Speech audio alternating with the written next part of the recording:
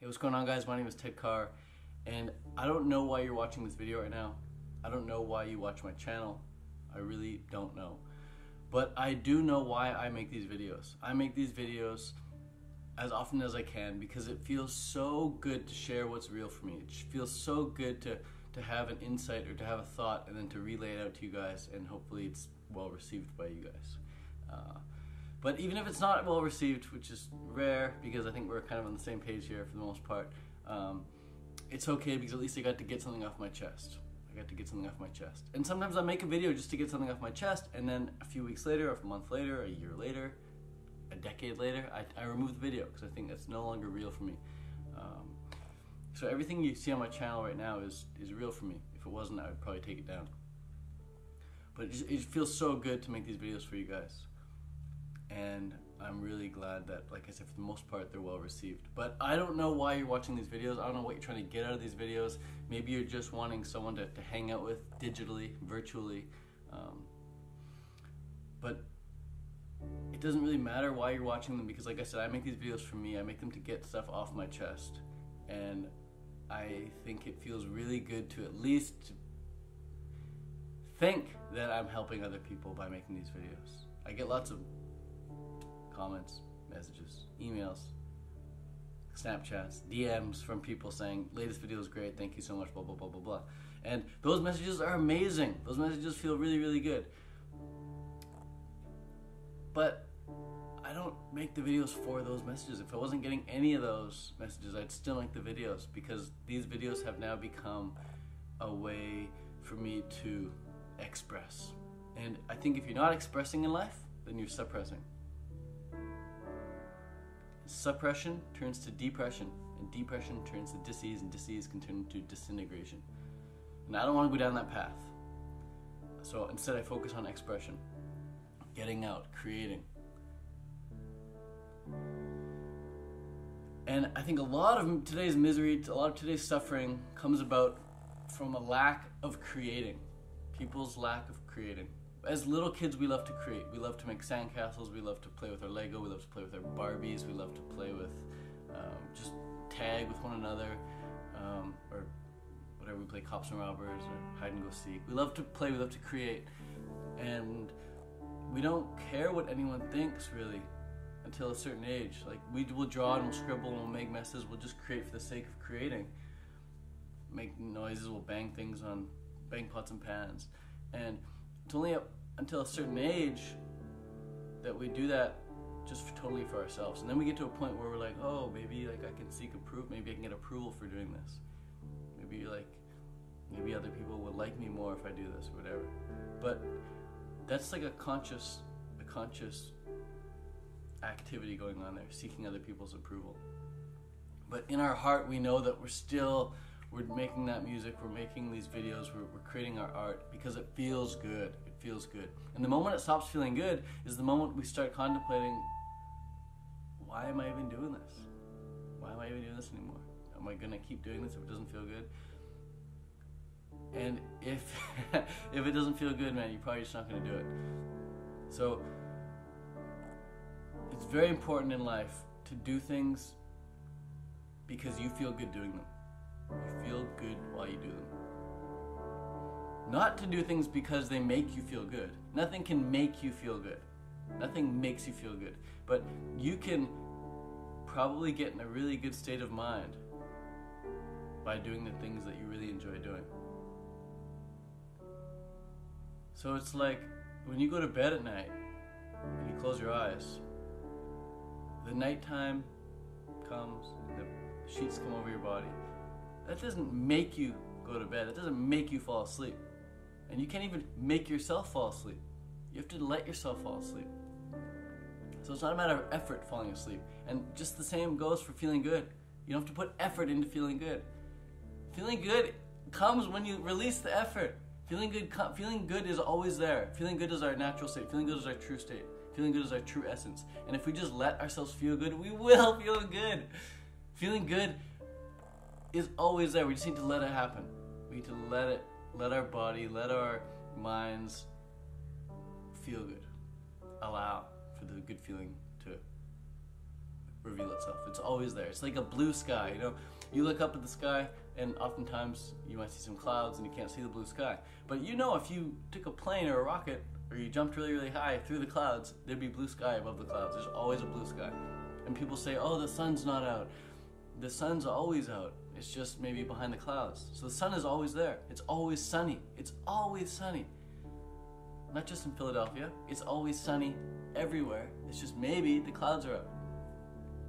So if you're feeling really frustrated, you're feeling really angry, you're feeling really down, you're feeling depressed, you're feeling upset, you're feeling stagnant, you're feeling stuck, just know that that's because you're not allowing.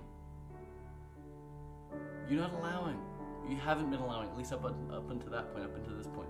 So being aware of this, you realize, wow, there's nothing I need to do to really put effort into to, to like really like try to make myself happy whatever. I just need to allow myself to feel happy.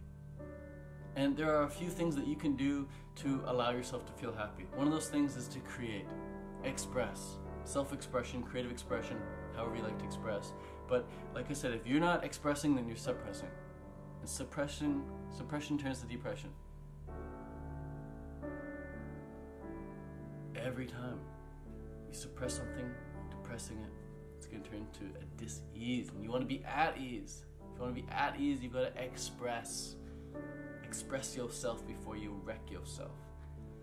There are various ways to express yourself. You can make Snapchats, you can make Instagram captions, you can write a blog, you can uh, talk with a friend on the phone, make videos, sing, dance, scream into a pillow, um, jump underwater and scream as loud as you can underwater, or just go for a run, express yourself physically. Just do something that you usually feel good doing. But sitting back and passively watching TV, sitting back and scrolling through Facebook and Instagram, sitting back and just watching a bunch of lame ass trending videos on YouTube, that's not going to do it for you. That's not going to do it for you. If you're going to consume any sort of content, make sure it's content that gets you focused on where you want to go. Make sure it's content that allows you to to remi- that reminds you of, of where you want to go in life. It's important to have the right sort of input in life. But I think input is way overrated. Like, it's just like with nutrition. People say like, here, eat this apple, this apple, and and this orange are gonna make you the healthiest person on the planet. So it's the food that's gonna make you healthy. Here, eat, eat, eat. Or if people aren't focused on the fruit, then like, here, this supplement will make you feel the best. This supplement will be antidepressant or whatever. But the healthiest thing to eat is nothing. The healthiest thing to eat is, is air. It's like if you're constantly if, if food really was the healthiest thing to eat, then, then you should be eating all the time. But you don't need to eating all the time. The healthiest thing, the, the, when, when you feel your healthiest, it's when you haven't eaten in a while. It's when you've it's when you've I mean just woken up and you're fresh in the morning or it's when you've just gone for this big, big long hike, and maybe like over the course of like a seven-hour hike, you only had like a couple hundred calories, so you really haven't eaten that much. So it's it's it's the lack of eating that allows you to feel your best, to feel your healthiest. So when people want to increase their health the fastest, they on a fast, either a water fast or a juice fast or something. But they just begin to allow the body to get healthy. So health is our natural state. We come out of the womb. For most people, we're extremely healthy right off the bat. The healthiest humans are typically babies. They're pure and they're unadulterated, they're just pure health. And they haven't eaten food with their mouth and esophagus and whatnot yet. They're just healthy.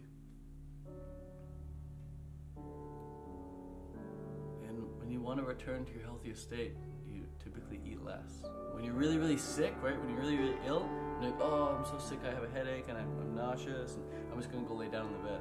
When you go lay down in the bed for a couple hours, you get up, you're like, oh, I actually feel quite better. I'm glad I got to lay down. Well, when you were laying down, you weren't eating anything. You were just resting. You were just resting. And same with when you got like really sore muscles or something. Your muscles are really sore. Let's say you injured your shoulder, and then you go to sleep one night and you wake up, you're like, oh, my shoulder's actually much better. Like all I needed was a good night's sleep. Well, during sleep, you didn't eat anything. You didn't even do anything. You just rested. You allowed the body to heal. So it's back to that allowing thing we were talking about. Just allow. There are some other things that you can do to allow yourself to feel really, really good. And those would be things like I was saying, like going for a big hike, just being out outside, um, going for a run, going for a walk, swimming, biking, whatever, going to the gym, using your body physically, um, and just meditating even, just sitting and being, blocking out all input. Have nothing coming in through your eyes, nothing really coming in through your ears, nothing coming in through your mouth, or nothing really coming in through your nose besides some oxygen, some shallow breaths. Unless you're doing breath work, that's another thing that you can do that will allow you to feel really, really good. Uh, and you're only going to really do the things that allow you to feel good if you start creating associations of pleasure with them. I think a lot of people they have the wrong associations with the right things. So people associate meditation with being like really like hippie woo spiritual BS, or associating it with like being bored, or associating it with not having enough time to meditate, whatever it is, you know. But until you begin to associate meditation with just sheer pleasure and sheer bliss and something that you really look forward to, you're never really gonna do it. So keep that in mind. If you're not meditating now, it's because you don't have the association of extreme pleasure with it. Um, same goes for doing breath work. You know, if you associate breath work with being like really exhausting, like then you might not do it. But if you associate breath work with being really exhilarating and really energizing and really alkalizing, then you're probably going to want to do it. And it helps to have mentors in every area of life that you want to improve. So if you want to improve your meditation, find a meditation mentor. If you want to improve your breath work, find a breath work mentor. If you want to improve your fitness, find a fitness mentor. If you want to if you want to uh, spend more time creating content online, then find a creator mentor. Uh, whatever it is. If you want to f- be more grateful in life, find someone who's who's you know whose job it is or whose message it is to you know promote positivity and promote gratitude and, and appreciation. Uh, have, have mentors in all areas of life. Because we grew up from ages, let's say, 0 to 10 or 12 around our parents all the time. And we become very much like our parents during that time. And then afterwards, we would hang out with some other people, some other people's parents or whatever. And then we just, we become like our friends. So we become the people we hang around. So it's very important that if the people you're hanging around right now are not inspirational for you, are not uplifting for you, are not motivating you, are not setting like really good examples for you, if you can't find those people in real life in your immediate surroundings right now, seek them out online. There are many people online. There are many people online.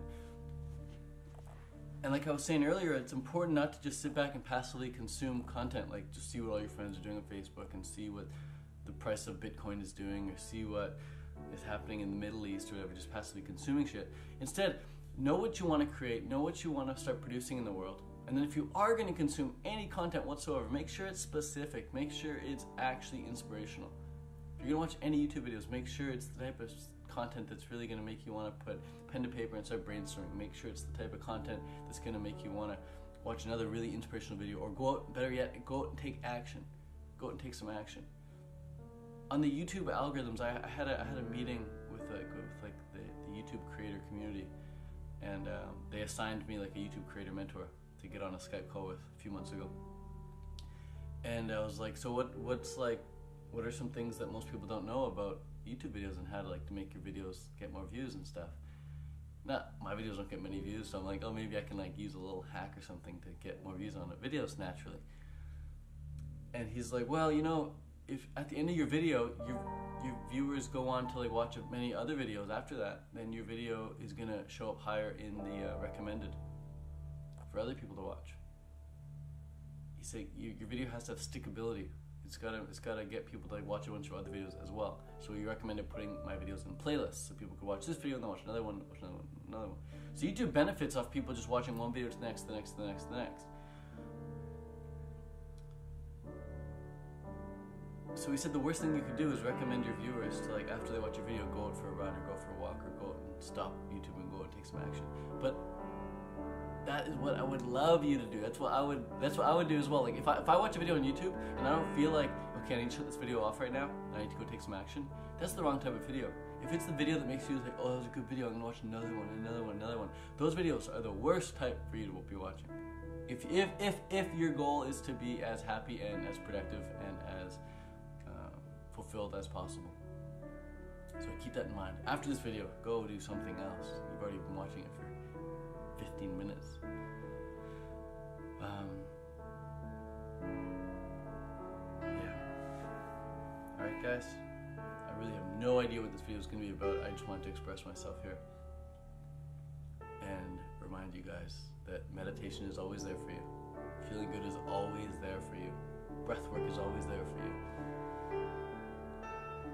And there are things that you can do that will guarantee that will guarantee that you feel guarantee that you allow yourself to feel good. You know, having a hot cold shower, hot cold, hot cold, hot cold, hot cold. It's gonna guarantee that you just start allowing yourself to feel really, really good. I laugh, I smile every single time I have a hot, cold shower. Go back and forth, back and forth. And I never suffer in a cold shower. That's the thing about cold showers. People think you have to suffer. It's not suffering. When the cold comes, it's a relief. Because the hot was too hot. And you get to a point where you're like, oh, fuck, I don't even want any hot anymore. At the end of the shower, you just have pure cold, and you're like, oh, the relief of the pure cold is so good. So if you're suffering in a cold shower, you're doing it wrong, especially if you're new to it. Perhaps if you've been doing cold showers, hot, cold, hot, cold for many years, then you can just walk right into it and do it cold and enjoy that.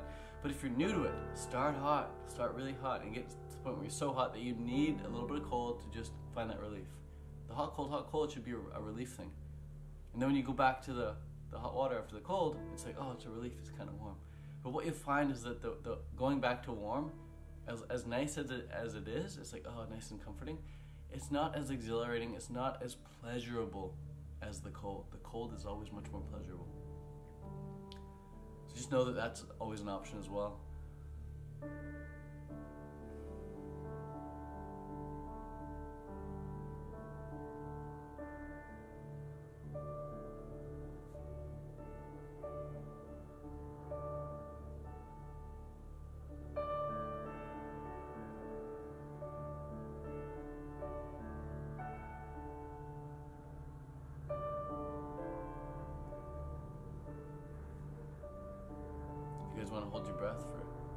One with me right now, we can do that together. Just see what that's like. If you made it this far into the video, then you probably want to do something. Let's hold our breath for a minute. Before we hold our breath, let's get in some oxygen. Let's supercharge ourselves. So we're just gonna inhale a lot and just let the breath go. So like. So we're not putting any emphasis, any effort on the exhale. It's just purely effort and focus on the inhale. So we'll just do that for like 10 seconds here. Here we go. All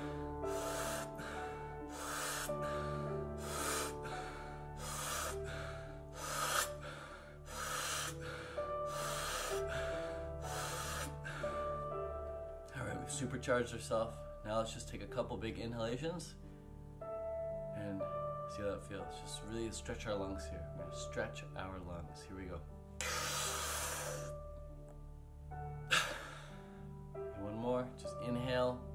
Second or two, and then exhale.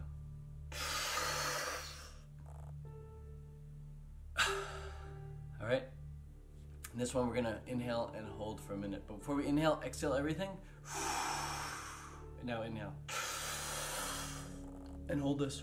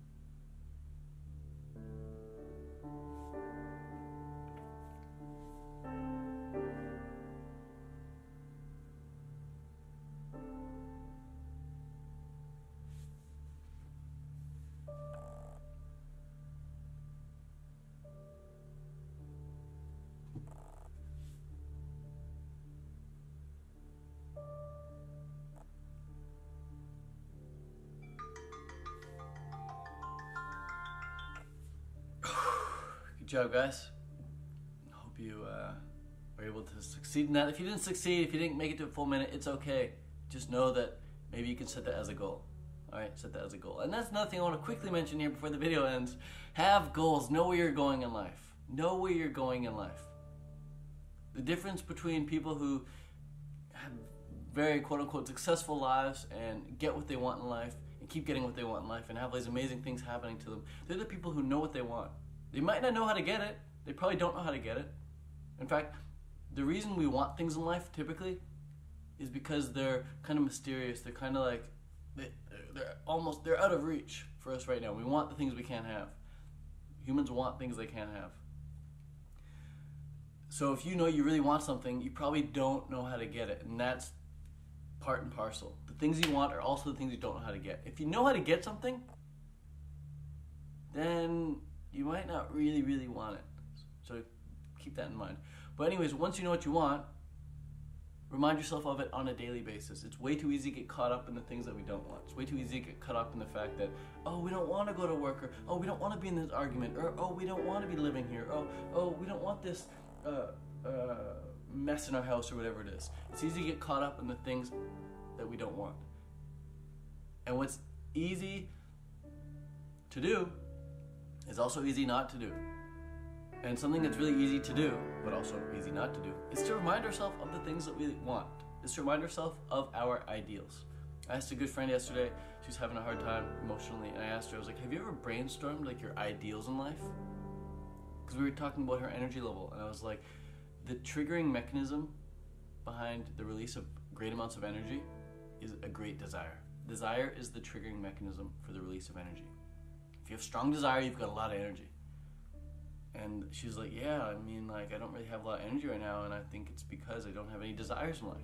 And that's totally normal. It's totally fine, too. If you don't desire anything, then it's fine not to have energy, because what, do you need the energy for? You're not seeking out anything, you're not trying to, you know, do much with it. But once you know what you want, you have a strong desire, you're gonna have more energy throughout the day as well. Alright? So, whatever you want in life, take your phone out, write a note, write a bunch of notes on your phone of the things that you want. And then just remind yourself of them on a daily basis. Read them, read this list of things you want first thing in the morning and last thing at night. And then immediately after you read the list, either sit and meditate for five or ten minutes to get yourself in a really beautiful state of mind, or just start thanking. Thank you, thank you, thank you, thank you, thank you, thanking everything around you, thanking your life. Just get yourself in a state of strong appreciation. And when you start appreciating the things that you have now, the things that you want in the future are going to come to you so much faster. Appreciation creates this magnetic effect in your life. Okay, now I'm officially done the video. Thanks so much, guys.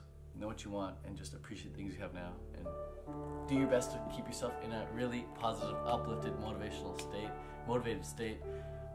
And be okay with if you're ever down and out, if you're ever feeling crummy, be okay with that. Learn from that. Take notes.